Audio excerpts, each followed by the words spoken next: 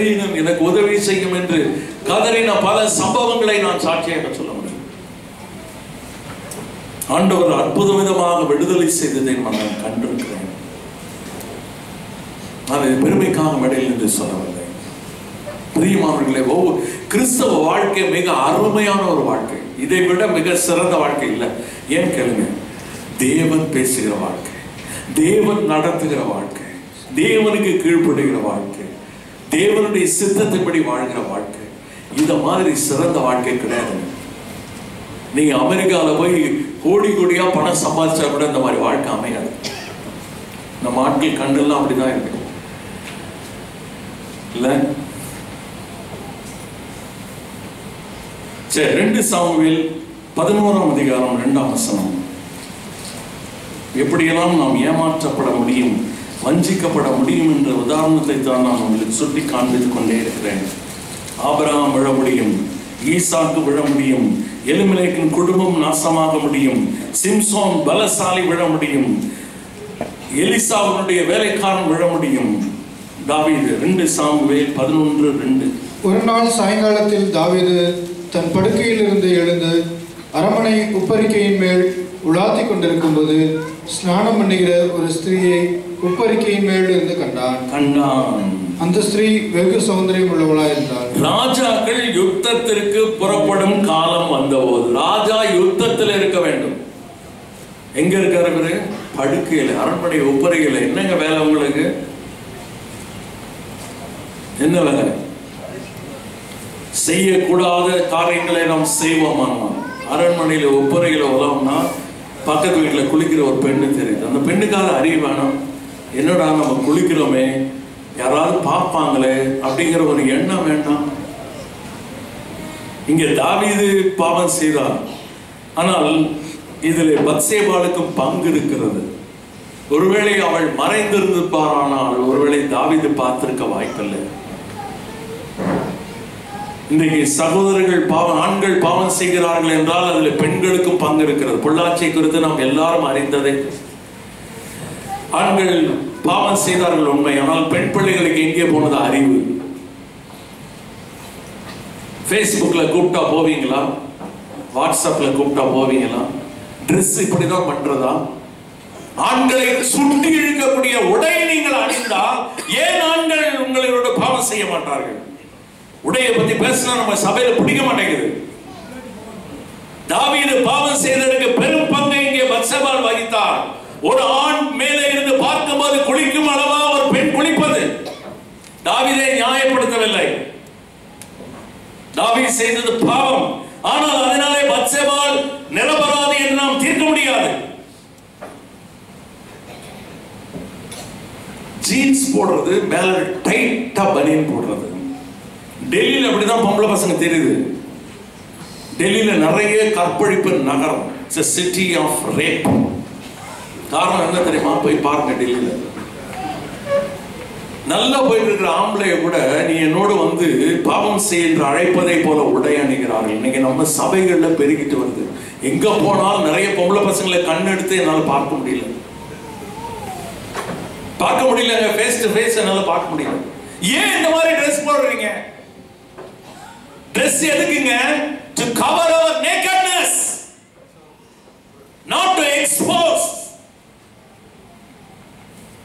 அன்றைக்கு பிசாசு அவர்களை பாவம் செய்த ஆதாமியமான நிர்வாணியாக தோன்றார்கள் அத்தியில் எல்லாம் தச்சுக்கிட்டாங்க ஆண்டவர் பார்த்தாரு ஆஹா இவங்களை அத்திகளை முன்ன பத்தாது சொல்லி தோளுடை உண்டாக்கி அவர்களுக்கு உடுத்தி அனுப்பினார். ஆண்டவர் மக்களை உடுத்துகிறார் சாத்தான் நிர்வாணமாக்குகிறார். நாம் யார் பட்சத்தில் இருக்கிறோம்? கர்த்தர் தெய்வமானா அவரை பின்பற்றுவாங்க. அவர் ஆடையை உடுத்துக்கிற ஆண்டவர். பாகா தெய்வமானா ஓடி போயிருங்க நான் அப்படிதான் ட்ரெஸ் பண்ணணும்னா ஓடி போயிருங்க விசாஸ் பின்னால வேண்டாம். என்னுடைய ஆண்டவர் உடை உடுத்தி அழக பார்க்கிற ஆண்டவர். நிர்வாணத்தை மூடுகிற ஆண்டவர். நிர்வாணத்தை திறக்கிறவன் பிசாசு. நம்மை ஒழுங்கீனப்படுத்துகிறது பிசாசு. நீங்க யார் பக்கத்தில் இருக்கீங்க? பெற்றோர்களே பிள்ளைங்க கேட்குற எல்லா ட்ரெஸ்ஸும் வாங்கி கொடுத்துருவீங்களா? உங்க பிள்ளைய அடுத்த அசிங்கமா பார்க்கணுமா? நினைச்சீங்கன்னா வாங்கி கொடுத்துருங்க. டெல்லியில அப்படிதான் நடந்துட்டு இருக்கு மாருதி ஆம்னி காரை கொஞ்ச நாள் பேன் பண்ணி வச்சிருந்தாங்க. தெரியுமா உங்களுக்கு? ஏன்னா அந்த கார் திறந்து வச்சுட்டே வருவான். ரோட்ல ஒரு பெண்ணை போட்டு அப்படி இழுத்து டோரை க்ளோஸ் பண்ணிட்டு போயிடும் டெல்லியில நம்முடைய தேசத்தின் தலைநகரம். தலைநகரமே இப்படி இருந்தா. நாடு எப்படிங்க இருக்கும்? இதுக்கு பெரும்பாலானது உண்டை. போய் பாருங்க டெல்லியில். இப்படி இன்னைக்கு வரைக்கும் அப்படிதான் போயிட்டு இருக்காங்க பொம்பளை பிள்ளைங்க நம்முடைய சபையில் உள்ள பெண் பிள்ளைகள் அந்த மாதிரி காப்பீடிக்க ஆரம்பிச்சிருக்கிறாங்க. ஏங்க காப்பீடிக்கிறீங்க? நல்ல விஷயத்தை பாருங்க. நல்ல விஷயத்தை நம்ம கண்ணிலே தெரியாதா? கெட்ட விஷயம்தான் நம்முடைய கண்களுக்கு தெரியுமா? ஏன் அடுத்த ஆம்பளைங்களை சோதனைக்கு உட்படுத்துகிறீர்கள்? குளிக்கும்படி பார்க்கும்படி ஏன் குளித்தாய்? பத்சேபாலே எவ்வளவு பெரிய தேவ மனிதனையும் வீழ்த்த முடியும்? அவ்வளவு பெரிய சக்தி இருக்கிறது பாவத்துக்கு தாவீது தேவனுடைய இருதயத்துக்கு ஏற்ற மனுஷன். எனக்கு சித்தமானது எல்லாம் செய்வான் என்று கர்த்தர் சாட்சி சொன்ன மகன். எவ்வளவு உன்னதமான இடத்துல இருந்து தொப்பிட்டு விழுந்தான் ஒரு பாவத்தை மறைக்க இன்னொரு பாவம் ஒரு பாவத்தை மறைக்க இன்னொரு பாவம் அவருடைய வீட்டிலே கொலைக்கு மேல் கொலை கற்பழிப்பு மேல் கற்பழிப்பு இதெல்லாம் போல காரணம் இந்த பத்சேபால் குளியல். தாவீது யுத்தத்தில் இருக்க வேண்டிய ராஜா அரண்மனை ஒப்புரைகளை உலாவி பார்த்ததுனால் வந்த விளை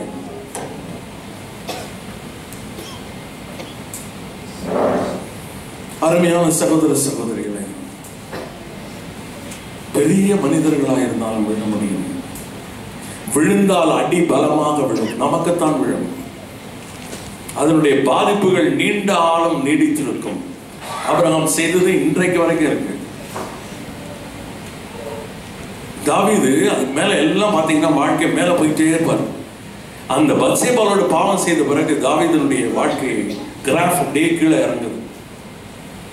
அவன் மகன் வர்றான் அம்னோன் தாமரை கற்பழிக்கிறான் இதை வஞ்சம் வைத்து அம்னோனை கொலை செய்கிறான்.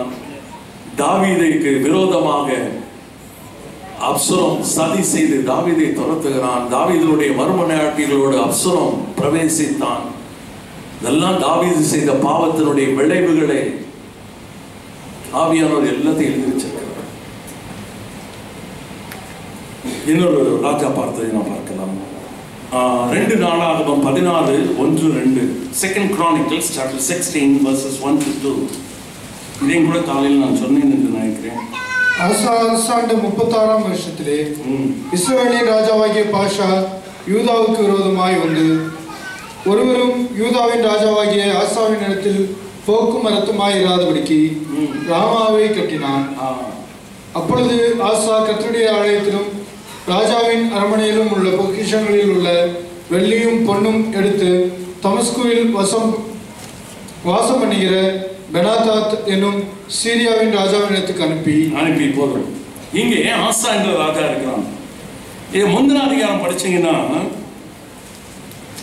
ஆசாவுக்கு விரோதமாக பத்து லட்சம் பேர் வர்றாங்க. நான் காலையில ஒரு தூதனை அனுப்பி ஆண்டவர் ஒரு லட்சத்தி எண்பத்தி ஐயாயிரம் பேரை சாகடித்ததாக சொன்னேன். இதுக்கு முந்தின அதிகாரத்தில் பத்து லட்சம் பேரை கொண்ட பெரிய படையை கத்தர் முறியடித்தார்.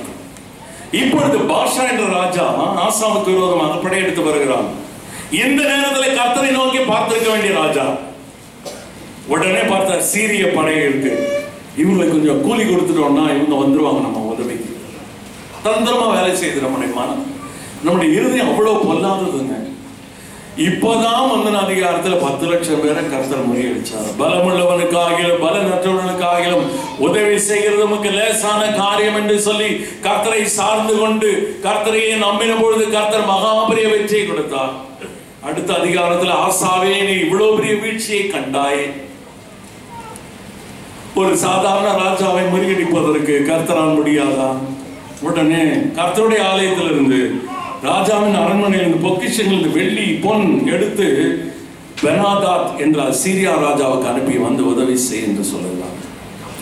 கர்த்தர் இதெல்லாம் நம்மளை பொறுத்த வரைக்கும் எந்த தப்பு இல்லை. அவர் என்ன கொலையா பண்ணிட்டாரு?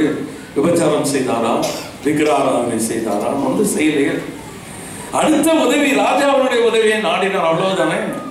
It is not serious for us but it is serious for God அநேக நேரங்களிலே நாம் சீரியஸாக நினைப்பது கர்த்தருக்கு சீரியஸாக இல்லை. அநேக நேரங்களிலே கர்த்தருக்கு சீரியஸாக இருக்கிறது நமக்கு விளையாட்டாக இருக்கிறது. ராஜாவுக்கு சாதாரணமாக தோன்றினது இந்த விஷயத்தில் நீ மதியில்லாதிருந்தீர் இது முதலில் உனக்கு யுத்தங்கள் நேரிடும். இந்த அதிகாரம் எப்படி முடியும் தெரியுமா? அவன் வெட்டி இருந்த கல்லறையில் தனக்கு வெட்டி இருந்த அவனுடைய கல்லறையிலே அவனை அடக்கம் பண்ணினார்கள்.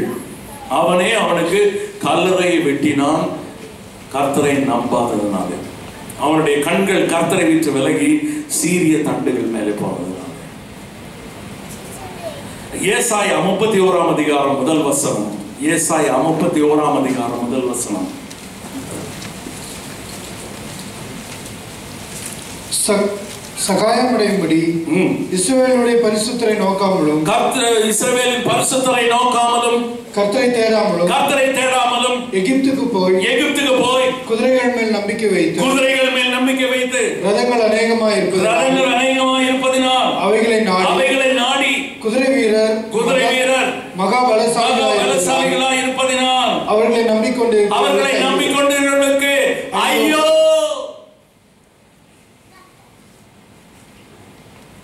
ஆபிரகாம் செஞ்சாரு பல நூற்றாண்டுகள் கழித்து யூதா ஜனங்கள் அதே தான் செஞ்சாங்க அசீரியர்கள் படையெடுத்து வருகிறார்கள். கர்த்தர் அசீரியர்களை கொண்டு யூதா ஜனங்களை சிக்ஷிக்க விரும்பினார்.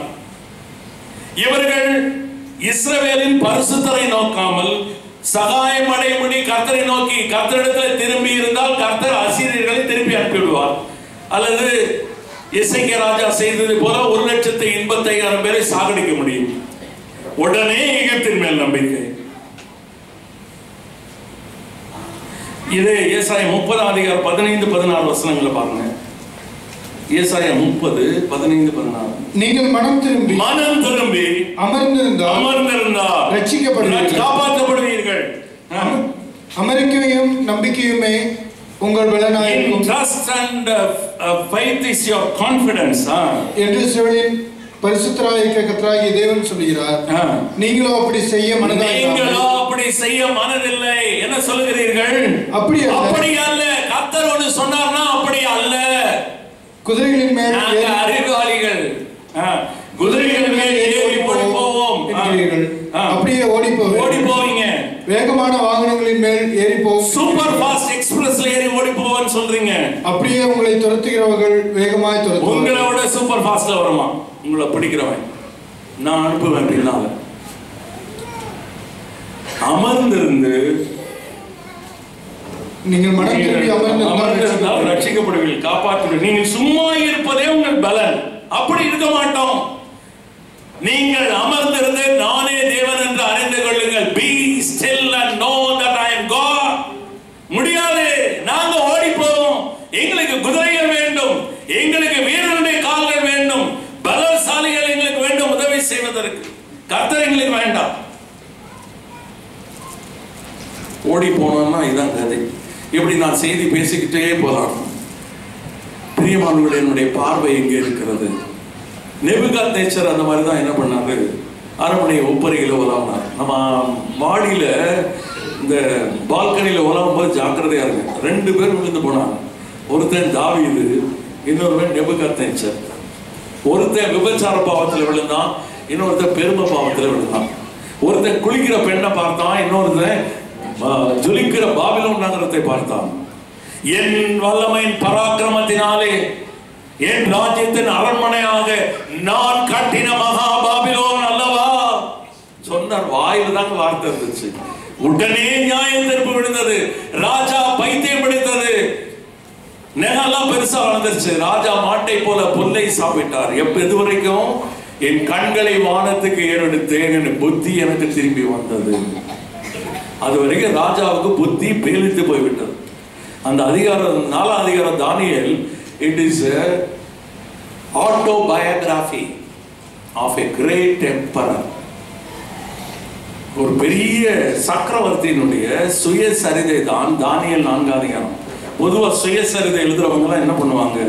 நம்ம வாழ்க்கையில் நடந்த மிக சிறப்பான காரியங்களை தான் எழுதுவாங்க. அப்படிதானே ஆனா இந்த ராஜா தன் வாழ்க்கையில் நடந்த மிக மோசமான சம்பவத்தை எல்லாரும் அறிந்து பாடத்தை கற்றுக்கொள்ளத்தக்கதாக எழுதி வச்சிருக்காரு.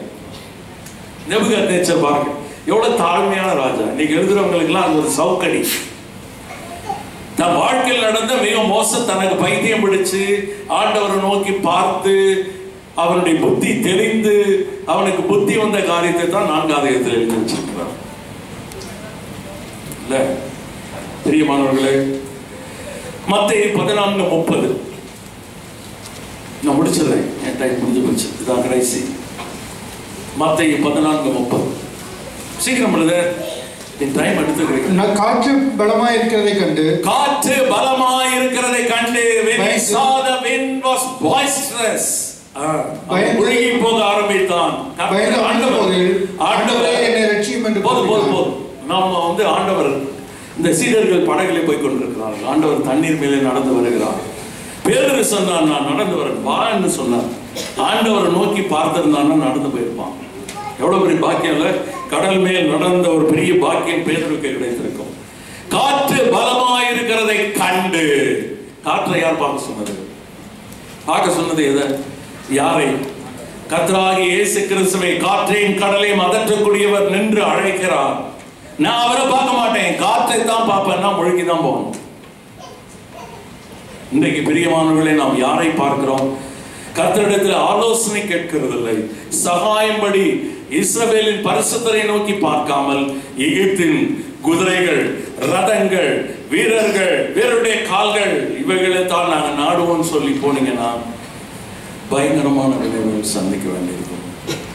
Sinful choice sensual choices are sinful choices நம்ம கண்களை பார்த்து தெரிந்து கொண்டோம் பெரிய அபாயத்தில் சிக்குவோம். பிரியமானவர்களே பெரிய அபாயத்தில் சிக்க இருந்த ஆபிரகாம் ஈசாக் ஆண்டவர் காப்பாற்றினார். தான் செய்த வாக்கு தத்தம் அவமாய் போய்விடக்கூடாது என்பதற்காக உன்னுள்ள சன் உனக்குள் பூமியில் உள்ள வம்சங்கள் எல்லாம் ஆசீர்வதிக்கப்படும். சாராய் ஒருவேளை கெடுக்கப்பட்டிருப்பாளானால் இந்த வாக்கு தத்தம் அவமாய் போயிருக்கும் என்பதற்காக கர்த்தர் தலையிட்டார். அதனால் ஆபிரகாம் அடைந்த விளைவுகள் இன்றைக்கு வரைக்கும் பாதிப்பை ஏற்படுத்திக் கொண்டிருக்கிறது. ஜாக்கிரதையாக இருக்க வேண்டும். பாவம் ஒருபோதும் ஆண்டவர் பாவத்தை மன்னித்தான் அதனுடைய விளைவுகள் பயங்கரமாக இருக்கும். அதனால் நமக்கு விடக்கூடிய அடிகள் பயங்கரமாக இருக்கும். கர்த்தர் தாமே இப்படிப்பட்ட வேடனுடைய கண்ணிகளில் இருந்து என்னையும் நம் அனைவரும் காப்பாராக. அவருடைய திருநாமம் என்றும் என்றும் மகிமைப்படுவதாக. ஆமென்.